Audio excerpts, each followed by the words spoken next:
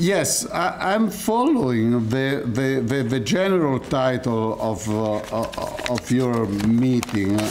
Uh, the general title is, uh, what is it? Uh, uh, fragmentation, liqui liquidity fragmentation and individualization in the mediascapes.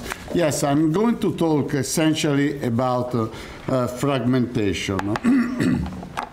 Let me say something about the the story of this presentation. Uh, I've been I've been working on uh, on the issue of media fragmentation uh, since a couple of years. Then uh, uh, last October, uh, last October in in Ljubljana, I, I, guess you were there, uh, if I'm not wrong, meeting in Ljubljana, there was a presentation from uh, one colleague from Tirana, and at a certain point he said that in Tirana, capital of Albania, not a big city, uh, there are 25 dailies. 25 dailies in a city like Tirana. What's going on there? So, uh, too many dailies for a city of uh, around 1 million inhabitants, if I'm not wrong. So, what's going on? What is the, the issue? So, uh, I started working uh, more and more on this issue of, uh, of uh, fragmentation, and I've been looking also for, for data. And uh, I, I, went to the data of uh, uh, World Association of Newspaper and the European Audiovisual Observatory, and I took from them some data. Uh, how does it work here? How shall I go on? Sorry, I'm a, a Mac person. No. Doesn't seem to work. What's happening? Uh, what do you mean? I didn't do anything wrong.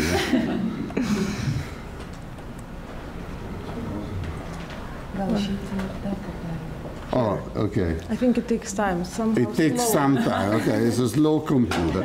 Okay, uh, and I put this data. What did I do? I divided the number of inhabitants of uh, each country for the number of media outlets, uh, daily, print press, and television news outlets.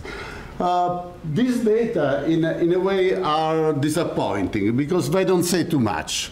I thought to find some kind of possible typology, and instead there is no typology. There is no distinction, clear distinction between uh, South and North Europe, between Western Europe and Central Eastern Euro Europe. Uh, there is no possible classification, no possible, uh, as I say, typology. Uh, they say a lot, but not pointing out any sort of possible typological interpretation.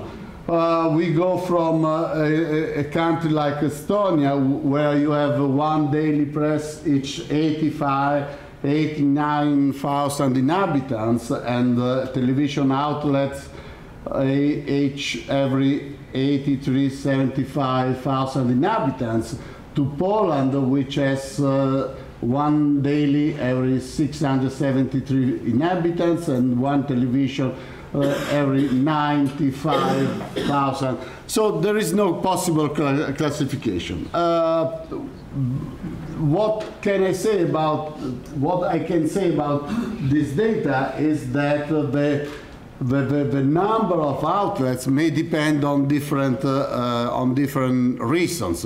For instance, the, the, the, the dimension of a country. Of course, Russia is a big country, and of course, there are a lot of different newspapers, and there are a lot of uh, a lot of uh, uh, television sets. Sweden, Sweden, there are very many television and print uh, print news outlets because probably of uh, the old tradition of uh, press subsidies uh, that push for having uh, uh, newspapers from uh, all different minorities, religion, ethnical, linguistic minorities. Uh, Italy, for instance, why we have not a big concentration of print press and we have Uh, many television outlets because uh, television money from advertising go to television goes to television not to print press so there are few uh, print press uh, uh outlets so there are different uh, explanations depending uh, essentially on, on, on different on different contingent and contextual explanation. Uh, so geographical dimension, past history, unequal distribution of advertising resource, but in general, in general, what comes out from this data that uh, yes, today there is a, sort of John Keane, as this uh, I'm using his words, uh, there is an abundance of news outlets. As he, John said, we live in the era of media abundance. Uh, there is uh, a very uh, deep, very dramatic fragmentation of the media system we are facing a large number of opportunities of sources of information, many news outlets. This is what the, the, the, the main, uh, the main uh, result of this data that yes, we live in the era of fragmentation. We live in the era of, uh, of media, uh, of media uh, abundance. Now, uh, the, the question that this data raise is the following. Uh, when, as in the case of Tirana, we have 25 dailies, is this good or is this bad? Uh, good means that in Tirana there is a very good level of pluralism. But at the same time, the question that raises is, are these 25 dailies able to survive by themselves? This is the question. So on one side, we have, uh, uh, we have pluralism. What shall I do here? Wait, okay. Uh, this is what I want to point out, that on one side, yes, fragmentation, as we say, may foster pluralism many sources of information, many different sources of information competing each other. But at the same time, fragmentation may also be an indicator of instrumentalization. That means when we have 25 uh, dailies in a city of 1 million of inhabitants, the question is uh, how they can survive by themselves. Are they able to find resources to circulate or resources are coming from outside. That means there are uh, external organizations supporting uh, supporting the life of these 25 dailies. And this goes to the issue of instrumentalization because if someone puts money on the news outlet, it means that uh, this person, this organization wants something from the news outlet. That means that very often this news outlet is, uh, is, is used for some kind of instrumentalization goals and not just for spreading, for spreading news. So fragmentation may mean good level of pluralism, but at the same time is a risk of uh, media instrumentalization. That means the media are not used for spreading news, but they are instrument to reach goals of different nature within politics, but also within the business sectors.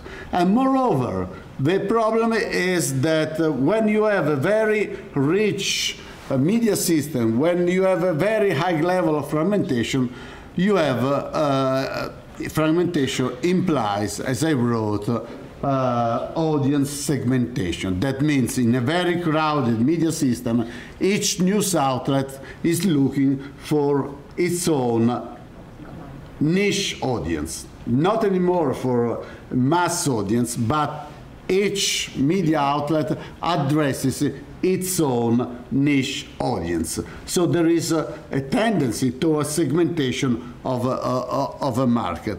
And most of the times, this is the problem. Uh, let me say something about niche audience. There is very, this very good book by uh, Natalie Jomini Stroud. The title is ex uh, exactly Niche Audience, in which she explained very well how what is going on in the United States with uh, the, the, the, in the era of media abundance. That means we are forgetting the idea of a mass audience and niche audiences are replacing the old idea of, uh, of mass audience. At this regard, let me also remind me uh, remind you the, the title of a very interesting paper that Elio Katz wrote in the 60s.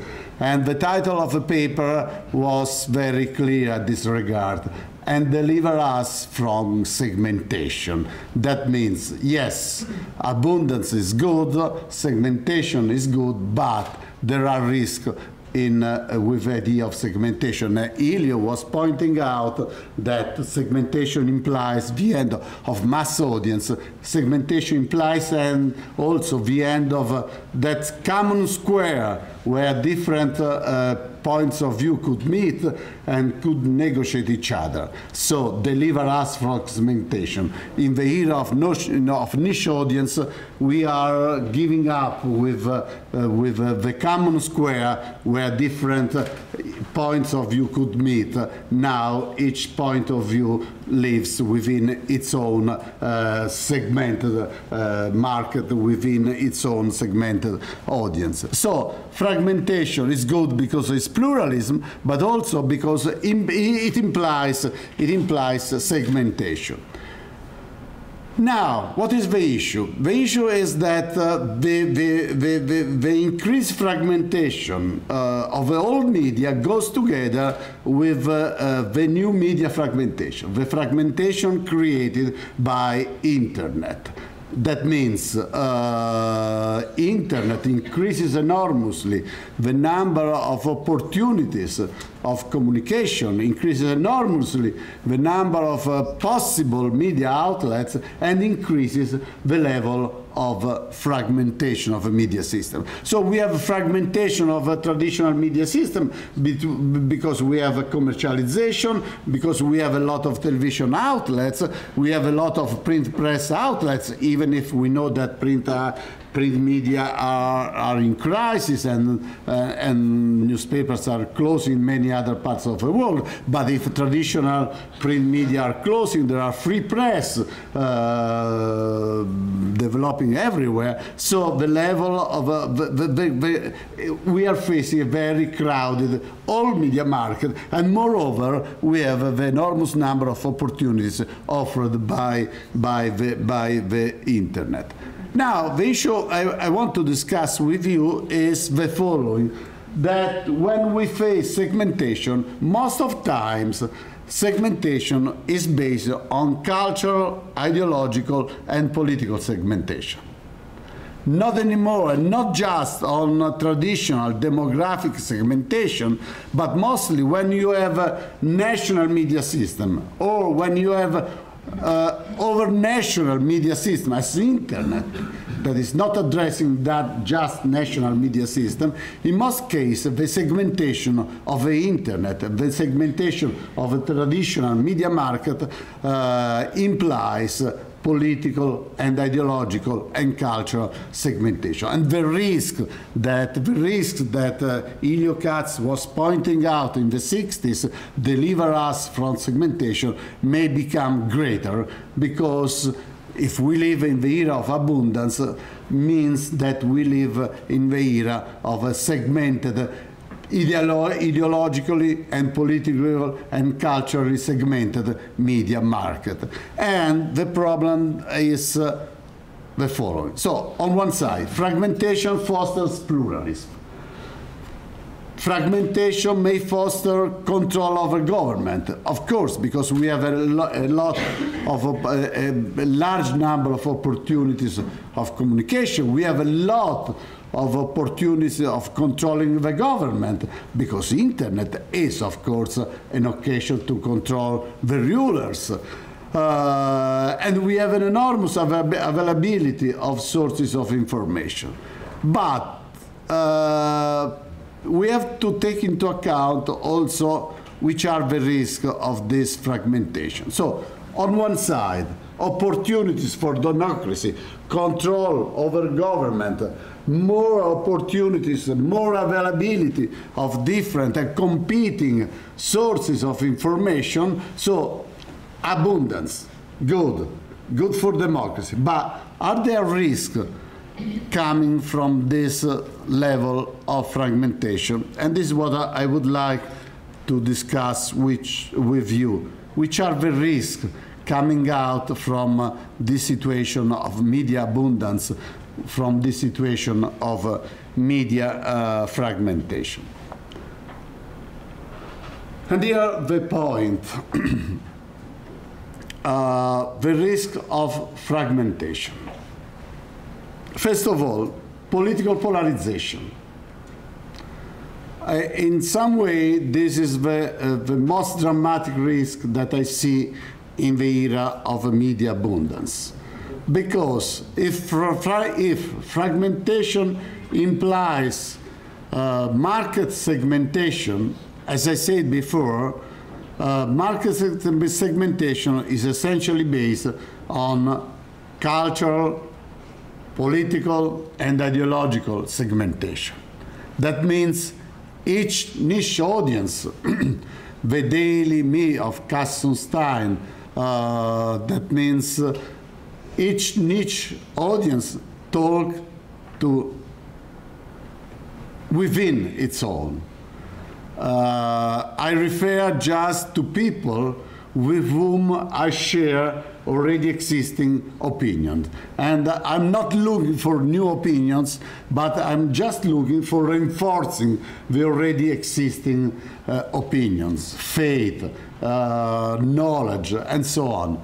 So these opinions are just reinforced, are just polarized. And Jomini Stroud used the word of partisan selective exposure.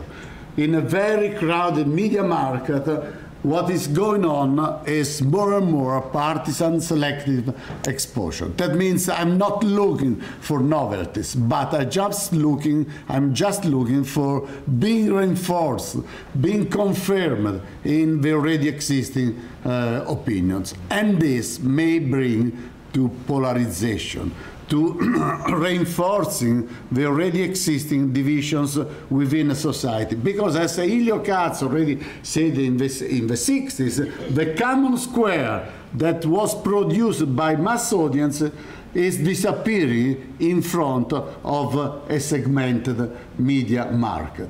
So polarization of, of, of society. And probably uh, this is what is going on in the United States today. There, are many books and many research that are pointing out how the, the, the, the, political polarization of, of the United States is not depending on September 11, it's not depending on the, on the election of black uh, Obama, it's not depending just on the uh, health system uh, reform, but it's depending also on the segmentation of a media market. It's depending on the action of uh, Fox News, on the action of different uh, media, uh, media talk show, and so on. So, in some way, there are many different explanations on uh, uh, how our Western society are becoming more and more polarized, even because of uh, this new segmentation of a, of a, of a media of a media market. Uh, but the second risk is uh, is uh, is, al- is al- another very dramatic risk: the complexity. Uh, the, uh, the, the era of abundance, the era of media abundance, is producing a higher level of social and political complexity. That means uh, the opportunities offered by the, by the internet, the opportunities offered by the large number of media outlets is increasing the complexity of a political system. Many new actors may enter the, the, the, the political arena also because of media fragmentation. And I pointing, I'm pointing out here the Italian case. Let me tell you something about the Italian case. You heard about the result of our elections of two months ago, where uh, there's been a sort of winning party, the leftist party, but then the second party has been a party, has been the Movimento Cinque Stelle, the Five Stars movement, which is a movement uh, which doesn't have any party structure and most what is more important for us is a movement that was born out from a blog that, that means that 10 years ago, around 10 years ago, a famous showman, Beppe Grillo, started his own blog, and this, this blog has become more and more diffused, has spread a lot, has become more and more important, and finally, from, from a blog, Beppe Grillo started a political movement, and after a few years, this movement has become the second party in the Italian political landscape. Uh, think of a Pirates Party in Germany and in Sweden.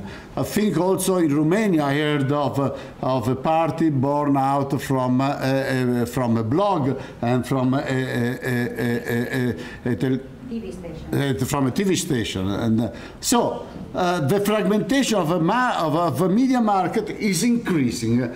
The the complexity of a political system because many new actors are uh, have the possibility to enter the political arena and starting from a news outlet, a political movement, a political party. And we are facing this situation in many, in many different parts of the world.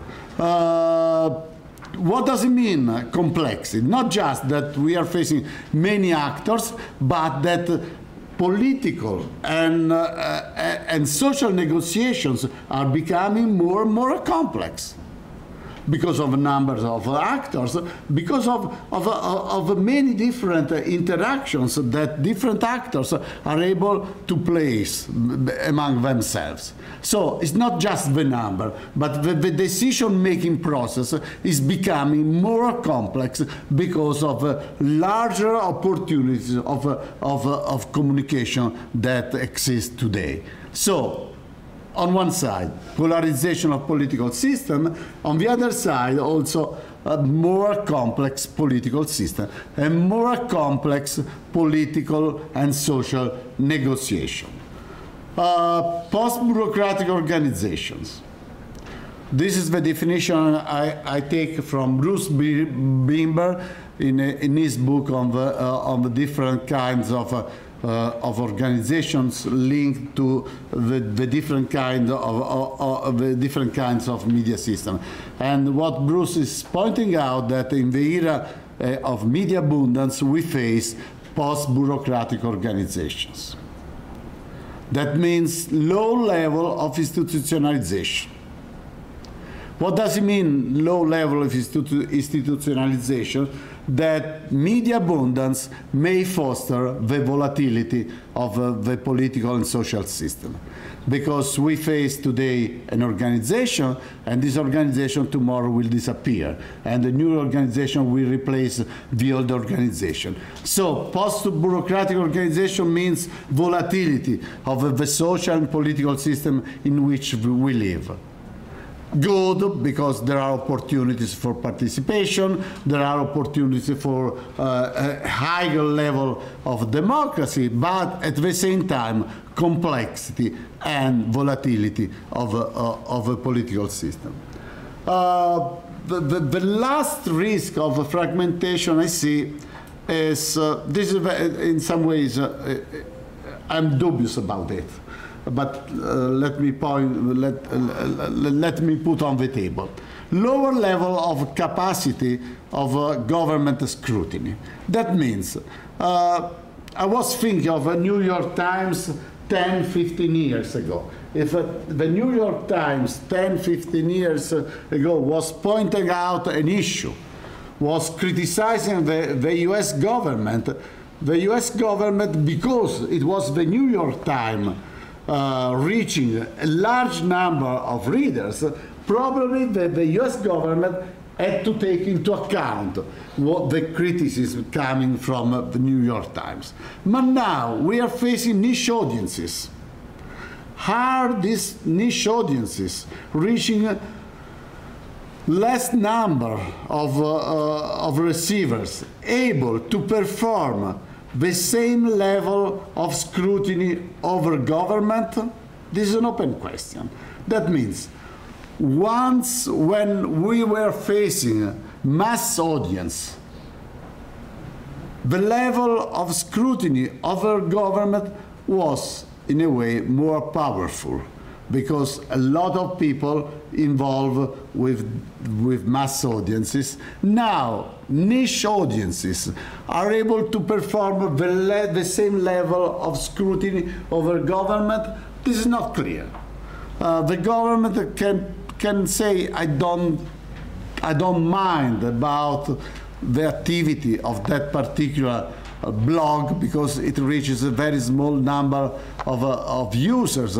I don't want. But if a, a large, a more important news outlet is pointing out some criticism, yes, I have to take into account. So the era of abundance, the era of fragmentation of media system may raise also this other issue. What is the capacity of, uh, uh, uh, of the control of the government when we are facing not anymore a mass audience, but we are facing many different competing uh, niche audiences. So, in a way, fragmentation, good, but on one side, we have the risk of uh, instrumentalization because when there are many news outlets, as the case of, of Tirana is pointing out, probably these news outlets are not able to survive by themselves. They are not able to reach a, a sufficient number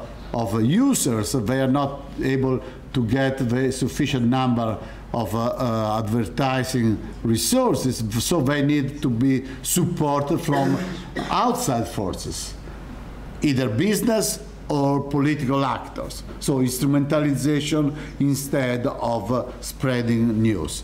And on the other side, of course, opportunities for democracy because many different news outlets, many people can can participate in the political, in the social, in the cultural life, but also the risk of polarization, uh, complexity of a, of a, political system, and volatility of a political system because of post-bureaucratic organization. And also the question, is the, the possibility of scrutiny over government becoming higher or is becoming less uh, powerful than before? Thank you.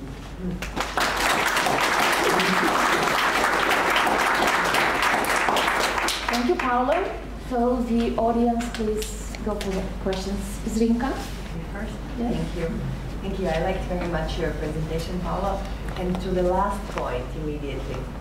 Uh, in Croatia, it used to be always in the past 20 years, in fact, that before the national election, uh, the ruling party would organize uh, many new small parties uh, to spring up so that the scene of the party scene would always be enlarged and so that a number of votes would be dispersed from their opposition and so on. Well, of course, we, we always suspect that the ruling party, uh, which was in mostly in power during the past 20 years, was behind this because there was no other reason but uh, to, to explain how this happens.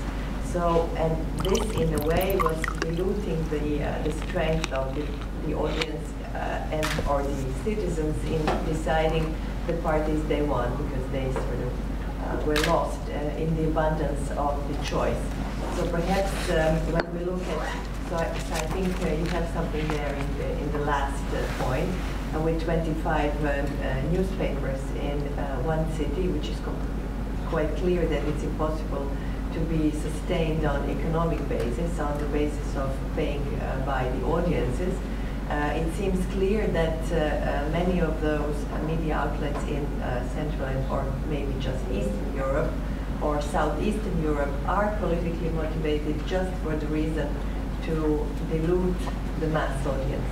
So I think, uh, um, in a way, you have um, found, I like the other points as well, but I think uh, the last one of, of reducing the possibility of scrutiny uh, once the audience is uh, no longer strong enough uh, is very important.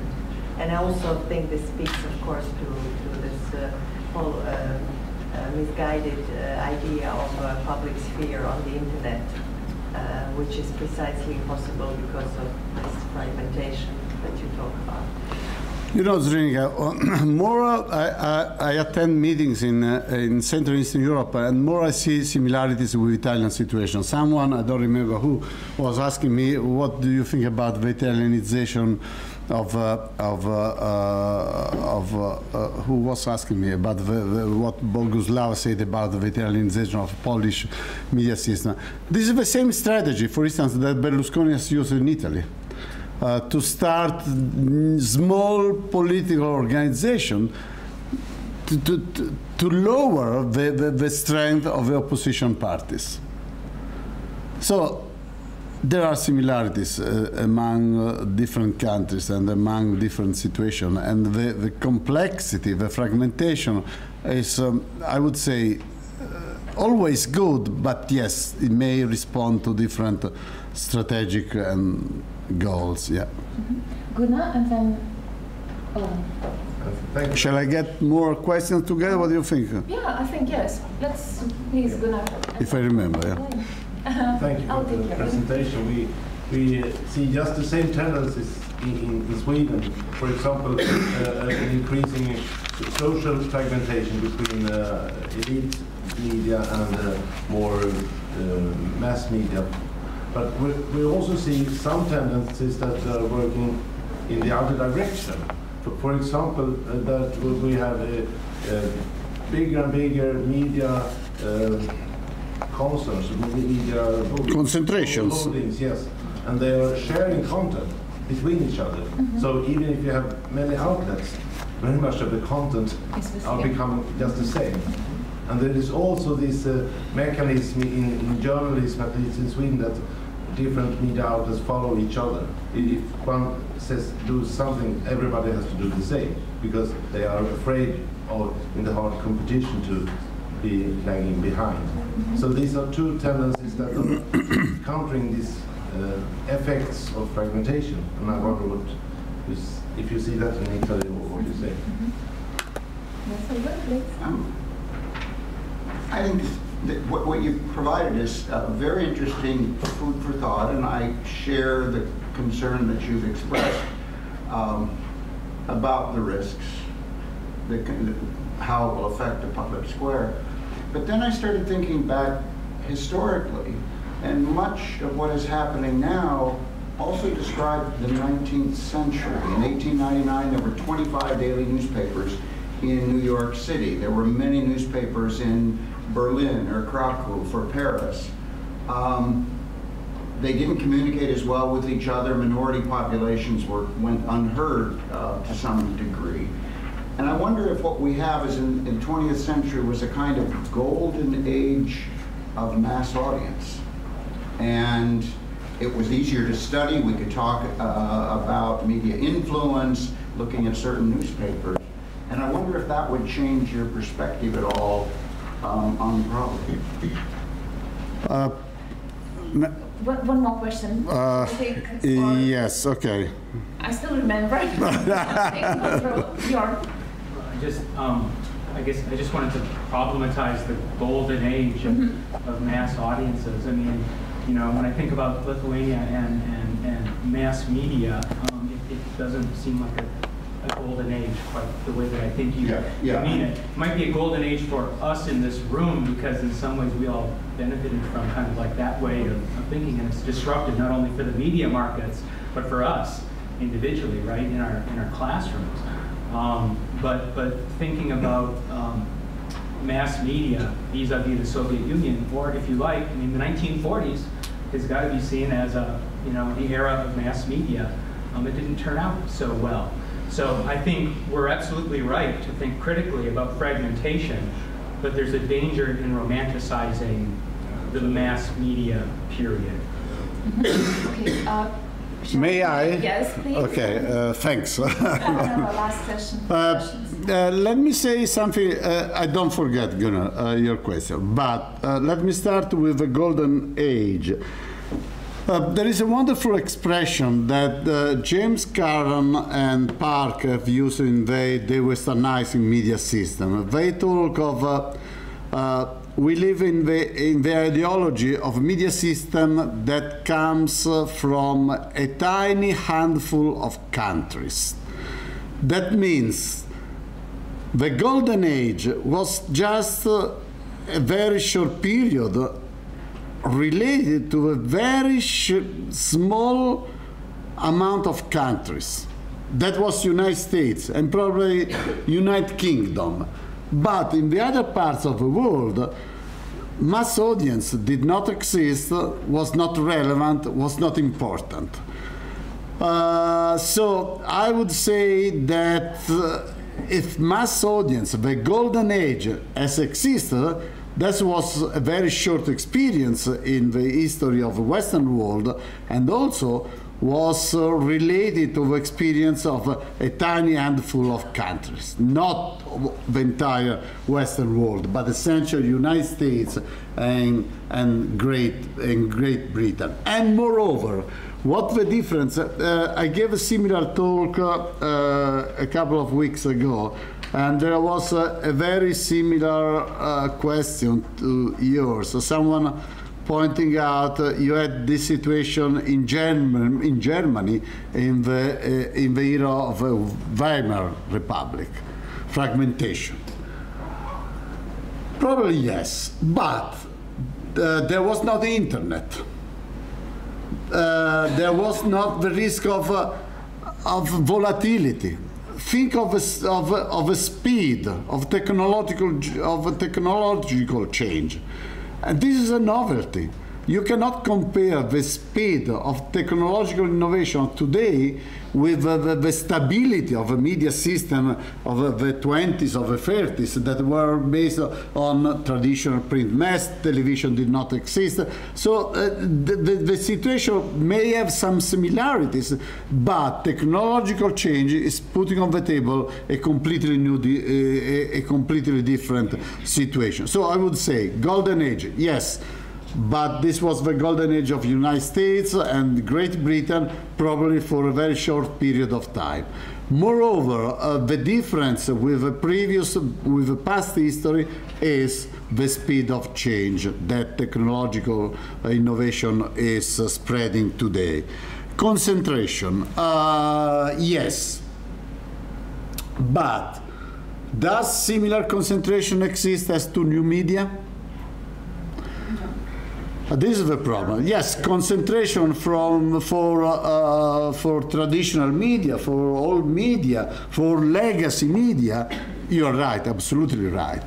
But on the other side, does the same level of concentration exist as to the internet or blogs? Are living by themselves. They don't need to be concentrated, even if there is a tendency to concentrate also in the in the, in the sphere of, uh, of the internet. Nevertheless, blogs live by, by by themselves. And they are against concentration in a way. So. Gunnar was also pointing that journalists are following each other and content becomes. Yes, uh, th- yeah, uh, this is absolute. Could I go all on for 30 minutes about that? Because I'm working exactly on this.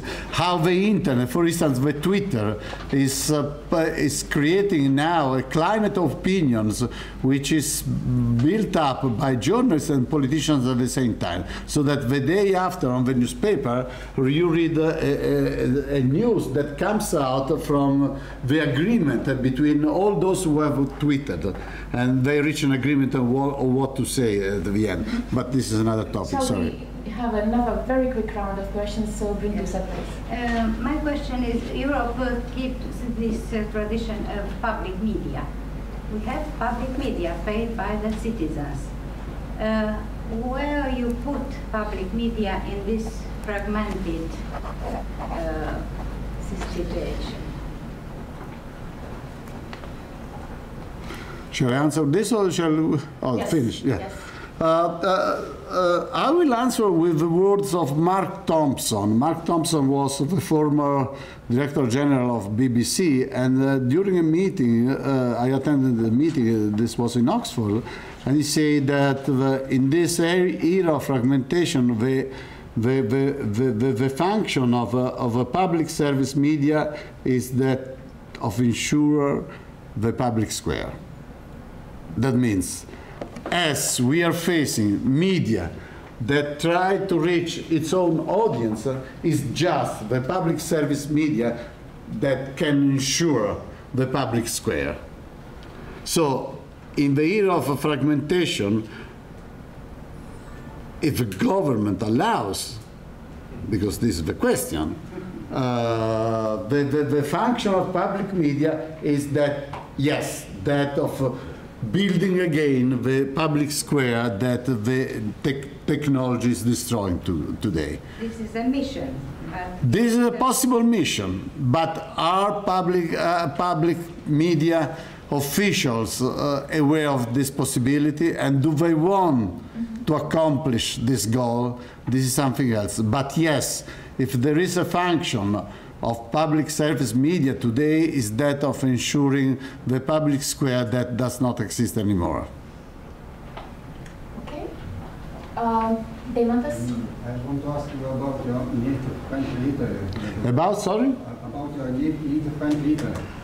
Uh, because uh, according to Freedom House uh, data, uh, Italy press is uh, partly free.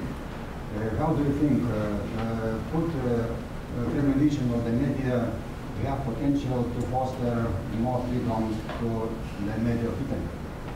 Uh, I'll be sincere. Uh, uh, I think that this data are wrong. Uh, sorry to say this, but I don't trust this data.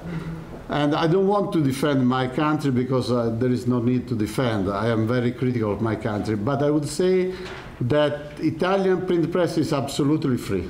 It's completely free. Of course, there is Berlusconi. And as a politician, he tries to affect the, the behavior of a print press. There is no doubt about that. But mostly, if you look at print press, most of print press in Italy is against Berlusconi. It's completely free. Of course, Berlusconi has its own newspaper, Il Giornale, and is able to influence another important newspaper, Libero. But nevertheless, if you look at most of, the, of Italian print press, I don't agree at all with, uh, with uh, what uh, Freedom House and so on says about print press in Italy. And also as to television. Of course, Berlusconi has its own empire. No doubt about that. We know very well. But is Berlusconi able to control public service media? He has been trying to control. And for a short period, he has been able to appoint the main director, the main editor of the main television newscast. Yes, definitely yes. But now the situation is already changed. He's able to control public service media? Not at all. Not at all. So, uh, sorry again, but I don't think that the media system in Italy is partially free. It's free. Sorry, uh, this is my point of view. Uh, eh, I mean, the most, the, the, the, the most diffuse, the most important current affair program, able to reach six millions of televiewers, is completely against Berlusconi. It's against, completely against the government. How can you define this a partially free uh, media system? Sorry, disagree with this.